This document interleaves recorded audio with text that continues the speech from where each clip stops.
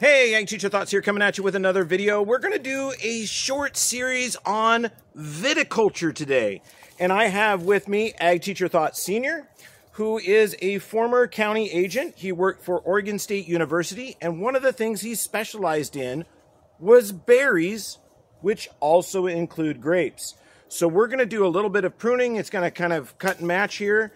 Um, and yeah, you'll learn a few things. I know northern Idaho isn't a huge grape area, but from where we came from, uh, it was. Uh, so where I was was around the Newberg Dundee area, and there was over 400 vineyards in the immediate area surrounding Newberg, Oregon. So I learned a lot about grapes. I learned a lot about wine, but most of my information came from this guy right here.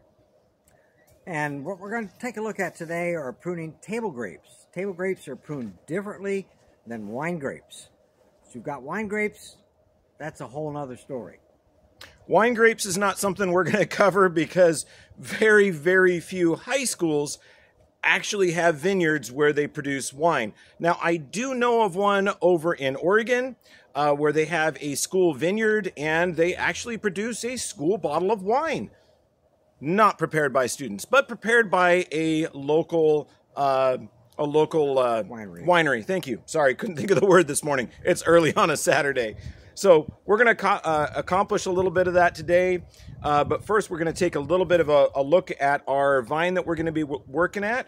And we're going to talk a little bit about uh, kind of cane selection and, and what we're going to do and then we'll cut the video and do a couple others and I'll title them under whatever it is that we're doing. So hold on just a moment while we reposition. Okay, as you take a look at these canes, it looks like a real mess. And what you want to do on table grapes is choose what we call a sun cane. They're the ones that been uh, receive the most sunshine. They're going to be the most vigorous, have the most stored energy. And so we have to look to select them. And this is one grape plant, and it runs for 40 to 50 feet. We're going to shorten its reach quite a bit to do that. But as I look at these canes up here on top, this one here looks like a nice one for sun cane, so we'll save it. We'll follow it down a little ways and clip it off. And there's another cane here that looks pretty good. I need to see where it came from before we cut it. But that's what we're going to be looking for, sun canes. And then once we find the sun cane, you see branches that come off of that sun cane.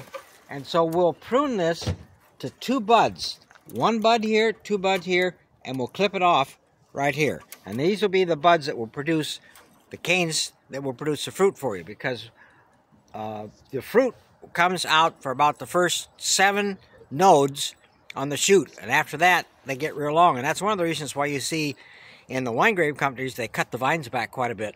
So that one, you get sun to the fruit. And number two, you get rid of all the extra foliage that's taking up energy and water. Okay, so that's what we're going to look at. Uh, so we'll reposition and think a little bit here, and then we're going to start sorting through some of the canes that we're going to use. And Mrs. Ag Teacher Thoughts is here to learn, uh, but she's chosen not to be in the video, so you don't get to see her in this.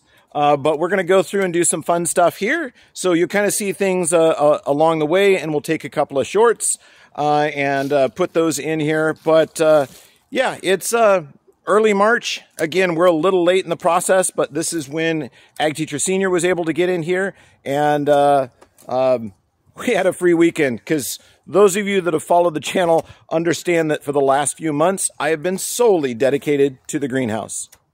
So, hope you learned something today. Ag Teacher Thoughts, subscribe and stay tuned for our series on pruning table grapes.